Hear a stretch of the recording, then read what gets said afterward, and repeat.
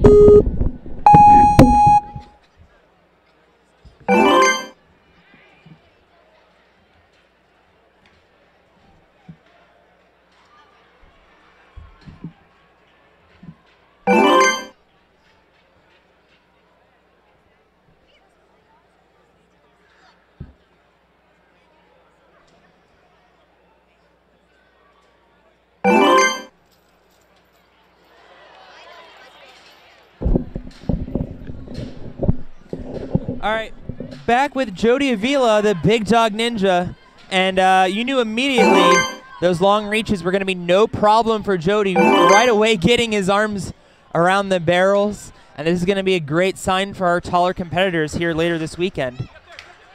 Gets the St. Lawrence Gap, and on to the fidget finale. He goes immediately. He might go on. Uh, now he's getting a little crooked. Now he can go on this swing.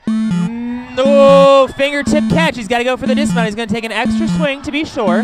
He's got to go on this one. There we go. The crowd got worried for a little bit.